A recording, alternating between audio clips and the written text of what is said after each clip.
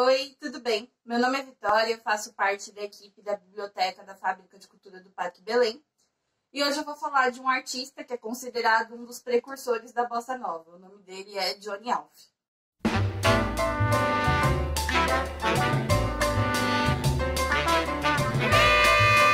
Durante o mês de abril, a gente da biblioteca trabalhou com o tema raízes, que pode ser a raiz de uma planta, pode ser a raiz de um povo, a raiz de algum aspecto da cultura e até mesmo a raiz de algum gênero musical. Por conta desse tema, a gente pensou em falar de três músicos. O Johnny Alf, que foi considerado um dos precursores da bossa nova, a Clementina de Jesus, que viveu espaços da raiz do samba, e o Paulo César Pinheiro, que conseguiu cantar a raiz do nosso país dentro das letras e composições que ele fez. Todo esse material vai estar disponível aqui nesse canal até o final do mês de abril. Bom, então vamos começar com o um artista que é o tema do vídeo de hoje. O nome dele era José Alfredo da Silva, mas ele era conhecido como Johnny Alf. Para falar dele, eu vou me embasar nesse livro aqui, Johnny Alf, duas ou três coisas que você não sabe, que é da coleção Aplauso do governo São Paulo, da imprensa oficial do governo. É um livro do autor João Carlos Rodrigues. E nesse livro é mencionado que não existe tanto material gravado sobre o Johnny Alf. Então não existe tanta entrevista, documentário. O que esse autor tentou fazer foi fazer um compilado do que o Johnny Alf falou ao longo da vida e colocar aqui. Esse livro ele está disponível no acervo de biografias da biblioteca, assim como o livro sobre a Clementina e um livro sobre o Paulo César Pinheiro. E eu quero que você se sinta convidado a ir retirar esse livro lá na biblioteca. A linguagem dele é super fácil, ele é dividido de um jeito super legal. Então eu vou começar mostrando um pouquinho do livro para vocês para dar uma instigada. Então essa é a capa do livro e dentro dele vocês vão encontrar várias fotos do Johnny Alf, vocês vão encontrar uma divisão por partes da vida por anos em que ele trabalhou e muitas fotos mesmo da carreira dele. Então uma foto dele tocando piano, uma foto de um show que ele participou, fotos dele com amigos, fotos dele se apresentando, fotos que foram usadas em encartes de disco, capas de disco fotos de apresentações com mais pessoas, fotos de um documentário que ele participou e uma foto de uma coletânea. Falando sobre os primeiros anos do músico, Alf nasceu em 19 de maio de 1929 e acabou perdendo seu pai aos dois anos, o que deu uma balada na sua família e por isso ele foi criado com uma família de criação. Esse é um assunto do qual ele evitava falar, então se sabe pouca coisa sobre esses familiares. O que a gente sabe é que essa família ela tinha o hábito de tocar instrumentos musicais por diversão e que isso fez com que logo cedo já percebessem a predisposição que o Johnny Alf tinha para a música. Então essa família logo cedo já colocou ele para estudar já aos 9 anos. Ele, apesar de ter sido um negro pobre na década de 30, teve uma formação escolar muito rígida tanto nas matérias tradicionais quanto no aspecto musical. Ele teve uma formação muito sólida em música clássica e ele estudava muito, tanto música clássica quanto música popular. Já aos 14 anos, ele formou o seu primeiro trio para tocar em público nas ruas em troca de algum dinheiro. Como a carga de estudos dele era muito forte, ele já compunha desde criança e na década de 40 ele conheceu o jazz e no pós-guerra, muita coisa começou a circular para o Brasil, né? Porque depois da guerra teve um respiro e a cultura começou a circular pelo mundo. E Alf era um ser humano faminto de cultura, então ele era viciado em colecionar discos, ele era viciado em cinema, ele sabia a obra de diretores de cinema, ele era viciado em filmes musicais. E aí, quando ele começa a se apresentar em espaços que têm algum alcance, ele ganha esse apelido de Alf, Johnny Alf, porque um professor americano dele falou: ai, esse seu nome não vai funcionar, vamos pôr uma coisa mais carismática. Então, do Alfredo veio o Alf e do José veio o Johnny. Agora, falando sobre a música, toda essa introdução que eu fiz sobre os primeiros anos serve para a gente chegar na carreira do Alf como músico. Nos anos 40, a música brasileira passou por muitas novidades, assim como a música mundial. E para Johnny Alf, os anos 40 são uma época muito mal estudada que marcam a tradição da música tradicional para a bossa nova. E é durante essa década que o Johnny vai constituir a maior parte das suas referências. E tem um trecho no livro que eu acho que é um trecho que conversa muito com as noções de referência que o Johnny Alf tinha, com como ele era honesto ao assumir que tinha muitas referências, que é um trecho que fala assim. Vou até ler para vocês. Eu sou da opinião de que ninguém inventa, todo mundo tem uma fonte. Então ele era esse cara que gostava de ter referência. Ele não queria ter inventado a roda, ele gostava de ser alguém que estudou muita música. Agora falando da carreira dele como um todo, apesar de ser solidamente formado na música, ele foi trabalhar em outras áreas, porque a família dele não concordava com uma carreira de músico, porque achava uma carreira muito insegura. A família queria que ele fosse contador ou que fosse professor de inglês, porque ele também tinha uma formação muito sólida em inglês. Ele foi contador durante um tempo, mas aí ele entrou para a vida militar. Na vida militar, ele se tornou um datilógrafo. Quando ele sai da vida militar, ele encontra um trabalho como pianista. Com esse trabalho, ele consegue ganhar uma grana. Essa grana chama a atenção dele. E aí ele pensa: agora eu vou ser músico. Essa decisão de ser músico acaba gerando um afastamento dele e da família. Esse afastamento acaba gerando sentimentos nele que fazem com que ele deixe de ver a família durante 19 anos. E com esse afastamento, ele acaba tendo uma forte presença da solidão na sua música, na sua obra. Essa solidão, esse distanciamento da família, esse ter que estar no mundo de um jeito meio solto acaba fazendo com que o Johnny passe por momentos de alcoolismo e por períodos muito deprimidos. Agora falando sobre a bossa nova. Durante a década de 50 se proliferam casas de show ao vivo no Rio de Janeiro e em São Paulo e o Johnny Alf ele acaba frequentando essas casas, tocando muito na noite. Nessas apresentações ele faz muitos contatos, muitos amigos, compõe muita música e acaba se tornando amigo de figuras importantes, como Tom Jobim, Vinícius de Moraes, Dolores Duran, Alaide Costa. O Vinícius de Moraes e o Tom Jobim, nessa época, ainda não eram os grandes monstros da música. Eles eram pessoas em fase de profissionalização, ainda não eram esses grandes nomes que a gente conhece. E esse é um aspecto importante, porque já em 1951 o Johnny Alf compõe uma música chamada Rapaz de Bem, que é uma música que já tem todas as características do movimento bossa nova. E ela só foi lançada em disco em 1956. Quando ela foi lançada, ela já fazia muito sucesso na noite, porque era considerado um samba moderno, um samba carismático. Então ela era uma música que já tinha um prestígio. E esse termo, samba moderno, samba jazz, assim, são termos muito importantes, porque segundo Johnny Alf, antes da bossa nova ganhar esse nome de bossa nova, já tinha muita gente fazendo músicas iguais. Eu vou colocar aqui um trechinho dessa rapaz de bem para vocês ouvirem. Então vou colocar. Se a luz do sol vem me trazer calor, e a luz da lua vem trazer amor, tudo de graça a natureza dá. Pra que que eu quero trabalhar? E da discografia dele, essa é realmente uma das músicas mais próximas, assim, do que a gente costuma ouvir, uma das músicas mais fáceis de gostar. Porque o jeito dele compor era bem diferentão. Então tem algumas músicas que você ouve e você pensa, gente, eu nunca ouvi nada parecido com isso antes.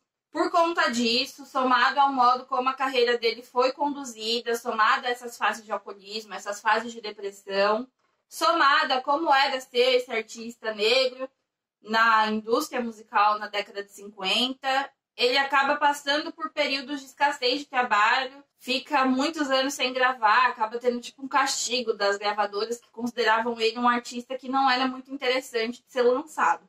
E o que é mais doido é que essa música, apesar de ter características que já são tipo um resumo assim da bossa nova, ela vem sete anos antes do primeiro disco que é considerado o marco inicial do gênero musical, que é o LP Chega de Saudade do João Gilberto.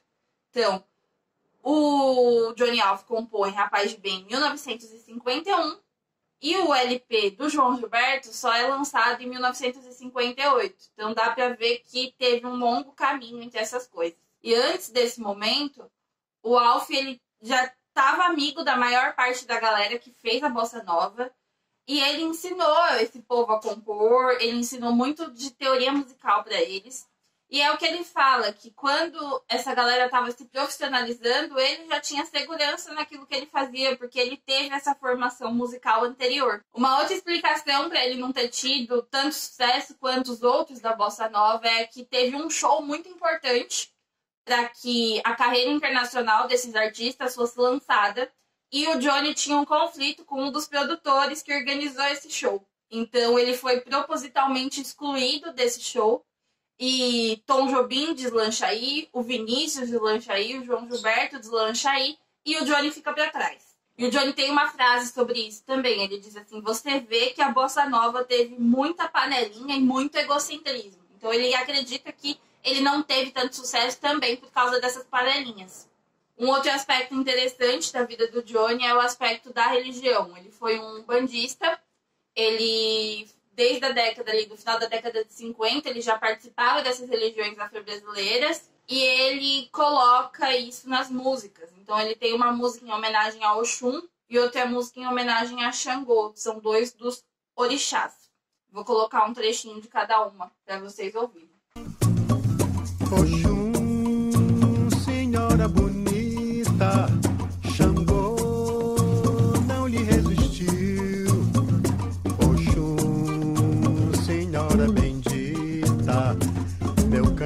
fé por seu encanto surtiu. Se meu ponto na gira firmei, tenho que saravar. A tabaque bateu, santo meu respondeu. E Xangô, é falange do Deus do trovão que eu quero saudar. Santo de intuição que me vem confirmar. E Xangô. Então ele consegue unir as músicas né, dos terreiros com esse novo gênero musical. Isso na década de 60. Uma outra questão importante da carreira do Johnny Alf é que ele era um homossexual e não foi fácil assim, ter uma carreira sendo homossexual naquela década. Então teve um álbum dele chamado Nós, em que a capa é no primeiro plano ele com uma camisa florida e no segundo plano um homem desfocado com uma camisa branca vindo na direção dele. Essa capa ela foi muito criticada porque daria indícios da homossexualidade dele. E ele mesmo deu algumas declarações sobre isso. Eu vou ler uma delas, tá na página 94 do livro que eu citei. Meu homossexualismo interfere como nuance que evidencia e policia meu comportamento junto às pessoas. É ele a brisa do título da música. É ele o devaneio que inspirou a letra. Analise a letra e terás a sacação. Para um artista, o motivo de certas obras fica incrustado na pedra fundamental de sua personalidade, e com bastante inteligência, ele usa esse motivo num teor de simplicidade honesta, sem se revelar aos outros se é isso ou aquilo, a arte o faz. Quando ele fala que é essa a brisa da música, ele está citando uma música dele chamada Eu e a Brisa. Eu vou colocar um trecho dessa música aqui. Fica, ó brisa fica, pois talvez, quem sabe, o inesperado faça uma surpresa e traga alguém que queira te escutar e junto a mim queira ficar. Ele mesmo diz, não é uma construção assim literal dos versos. Ele sabe o sentimento que levou ele a fazer essa letra, mas a letra é meio camuflada. Porque para ele essa era uma das funções do artista também, conseguir transformar as suas dores em uma outra coisa. E eu acho que essa outra coisa em que ele transformou é bem bonita. Essa é uma música que eu acho muito bonita. Agora falando sobre os anos mais maduros da vida do Johnny Alf. É, conforme a sua carreira foi avançando, ele acabou passando ao longo né, desses anos todos 20 anos sem gravar disco algum. Mas ele nunca parou de estudar música, porque ele achava que um músico, um artista, deveria se manter sempre atualizado. Ele criticava aqueles artistas que tinham parado no tempo. Na década de 80, ele viveu uma escassez de trabalhos muito grande que levou ele a situações precárias de vida. Então, ele sempre viveu uma vida meio nômade, assim, ia para o Rio de Janeiro, voltava para São Paulo, vivia em casas pequenas, em casas com uma estrutura ruim. E até os anos 90 ele não teve quase nenhum bem. Quando chega os anos 90, ele fica sete anos sem gravar ao longo aí dessa década.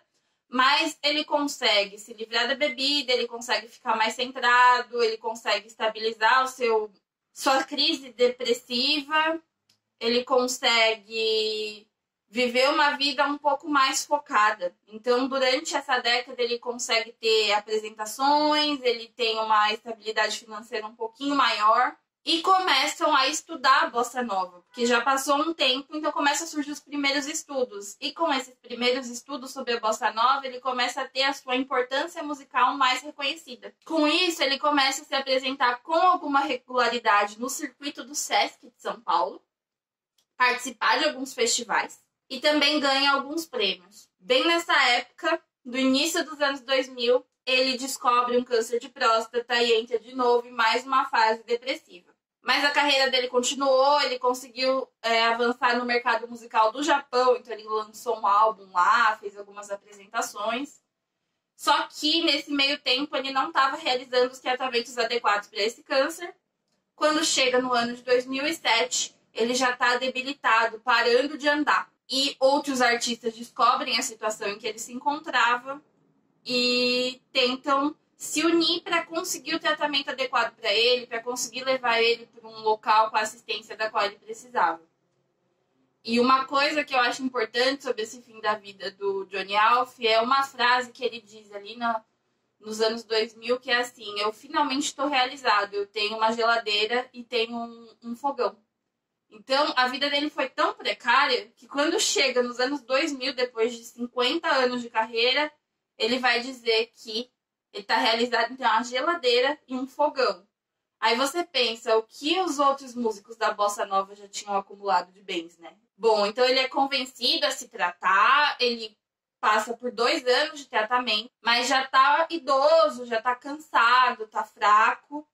É, nesse ano ele realiza seus últimos shows. O último show dele foi em outubro de 2009 e em março de 2010 ele falece durante seus tratamentos de quimioterapia. Então, ao longo dos 80 anos que o Johnny Alf viveu, ele teve muitas de suas músicas interpretadas por outras pessoas, como a Laide Costa, uma cantora importante chamada Márcia, e algumas das músicas só existem na voz de terceiros. Todas essas informações vocês conseguem encontrar nesse livro. Tem muito mais coisa aqui, na verdade. Eu espero que vocês tenham curtido o vídeo e vou deixar vocês agora com a música que eu mais gostei de conhecer desse artista, que é uma música que chama O que é amar. É só olhar, depois sorrir, depois gostar. Você olhou, você sorriu, me fez gostar.